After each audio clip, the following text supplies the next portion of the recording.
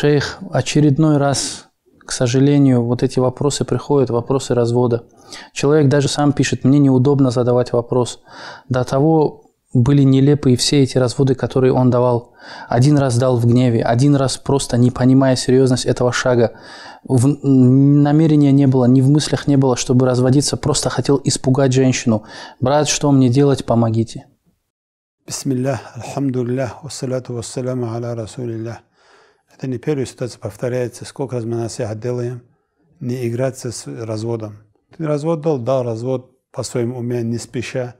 Если ты думаешь, ты женщину испугаешь этим разводом, или же что-то ты выиграешь, ничего ты это не выиграешь, ты теряешь. Играться нельзя, как он говорит, нелепее, как сам говорит. Первый дал, второй дал. Уже, если дал, уже два, два развода уже нет у тебя. Только остался один развод.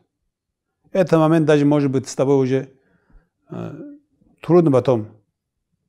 Уже сейчас тоже шутка скажешь, или как ты скажешь, развод, это развод считается. Из этого еще раз повторю, братья. Не зря Аллах Субхану Тааля в руках мужчин дал этот развод. Чтобы умом подумал, потом дал этот развод. Какой лучше, какой нет, выбрать. В женских руках она был бы день три раза тебе талак дала бы жена. За при каждой что-то не понравилось, иди отсюда. Нельзя тоже. Тебе Аллах дал, чтобы ты подумал и дал время, когда талак давать. После очищения жены, пока не приблизился, можно талак давать. Вот это является талак сунна. Почему? Потому что ты подумал, столько времени тебе есть, месячный, 7-8 дней, чтобы ты уже время есть у тебя подумать, нужна ли тебе этот талак, не нужна ли. Может, в это время примеры не получается. Из этого еще раз насиха делаю, не играйте с талаком. Талак не является для игры. Талак не дал тебе Аллах оружием пугать жену. Талак дал облегчением, когда трудности у вас с мужем и женой, и не совпадает, не получается, чтобы вы разводились. Из этого, еще раз насеха братьям, не играйте с разводом. Если хоть шутка сказал, ты развод, уже получается развод. Аллаху алям. Хочу добавить, э, некоторые сестры, еще там есть вопрос, пускай совместится один. Например, муж говорит, иди домой.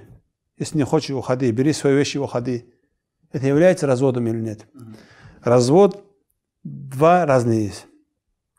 Есть прямые слова развод.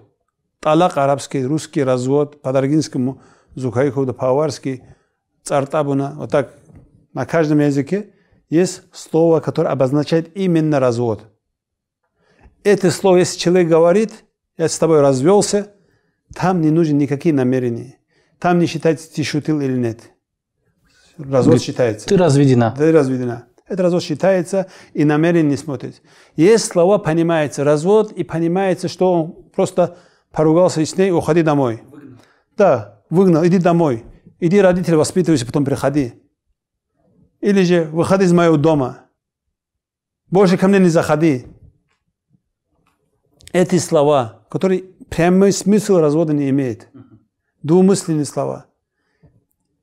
Это развод считается или нет? Если ты намеревался разводом, да, считается. Тогда твой намерение смотрит. Мужа намерение смотрит. Если он говорит, да, я хотел развод дать и сказал, иди домой, это развод. Если он сказал, я испугать хотел, или воспитать хотел, или что-то другое, это не развод. Это разводом не считается. Аллаху алям. Ассаляму алейкум рахматуллах. Судя по комментариям, многие еще не в курсе, что прежний наш канал был удален. Так вот, это наш новый канал. Все вместе, сразу, Подписываемся, смотрим актуальные тематические плейлисты, актуальные видео, делимся ими в соцсетях, в мессенджерах среди друзей и близких. Это помогает выводить видео в тренды и способствует тому, чтобы как можно больше людей увидело этот ролик среди предложенных. Ассаляму алейкум.